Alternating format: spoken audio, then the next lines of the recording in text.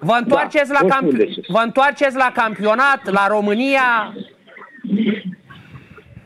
La România... la, do- la Băcoria. domnul președinte Burleanu, care v-a zis să fiți mai atent cu declarațiile care le faceți, să nu aveți surprize?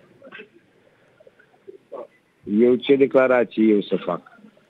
Eu n-am ce surpriză. Eu ce fac?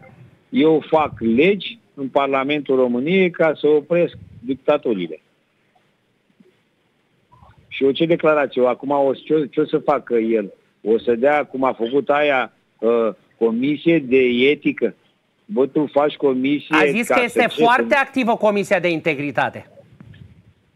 Păi, păi, tu, păi tu nu mai rușinos e. Tu îți dai seama ce e rușinos? Adică tu vii tu un copil, tu, tu ne înveți pe noi, ne educi pe noi, tu, păi dar nu ți-e rușine, cum să faci așa ceva? Păi, păi numai chestia asta e și este, e o brăznicie, ca, ca, ca principiu. Cum faci tu c- comisie de etică? De, tu ce faci? Tu ne educi pe noi? O desfințez eu și comisia aia. Să fiți atent Înțelegi? că poate nu mai joacă FCSB-ul prin Europa, adică e un pericol.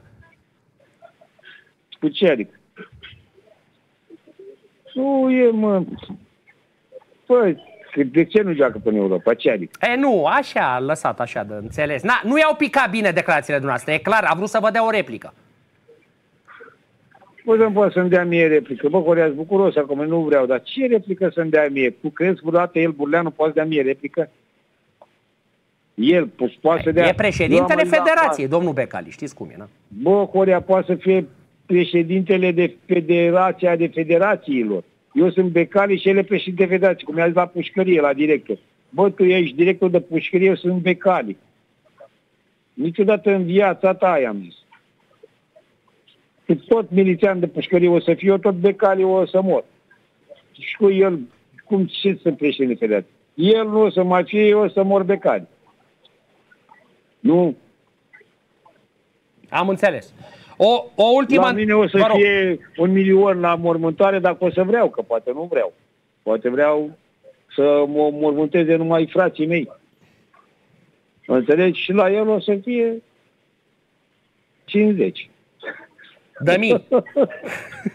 50 de oameni. Da. Domnul Becali, ultima, ultima întrebare. Vă gândiți la titlu, acum văzând echipa din ce în ce mai puternică, vă gândiți, iar, vă gândiți la titlu?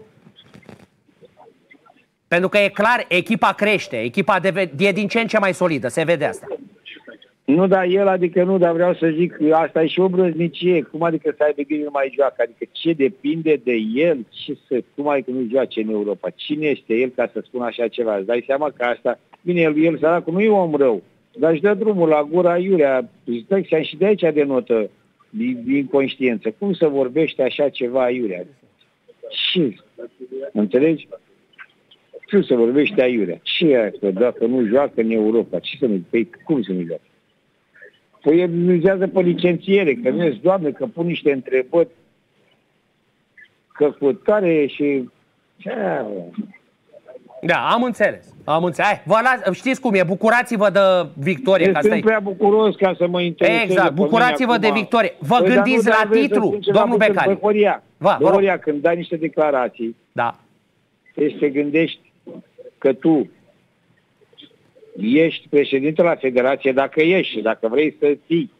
Bă, gândește când dai declarații despre echipa care te reprezintă pe tine ca președinte în România.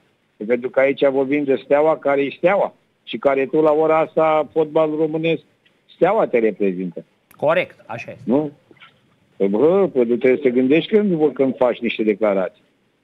Nu poți să vorbești așa, iure așa. Dar dacă vorbește problema lui nu mă interesează pe mine, el vorbește, eu fac fapte. Da.